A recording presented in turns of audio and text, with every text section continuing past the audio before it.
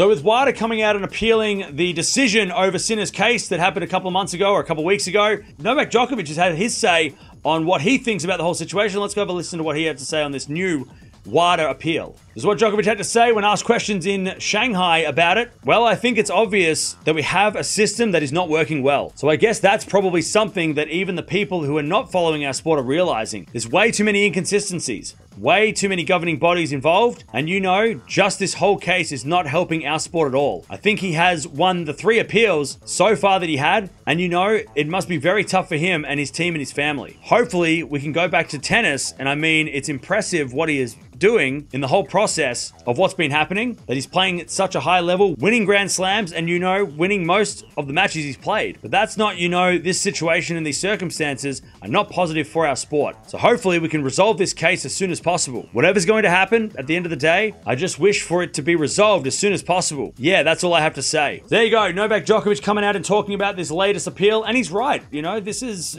we felt like we were past this once Sinner was free to play and was was found that he wasn't at fault over what happened back in March in Indian Wells with those two failed drug tests, and now WADA is coming in.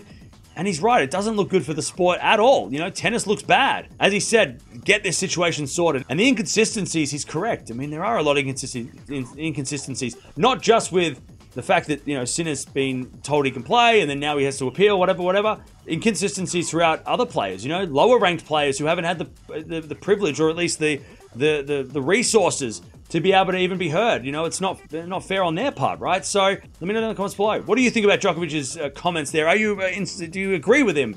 Uh, are you in support of Sinner, or are you thinking that Sinner should get banned? What's your opinion on that? I know everyone's got a say on that. But there it is, Novak Djokovic coming out and speaking about the latest appeal against Sinner, now with WADA.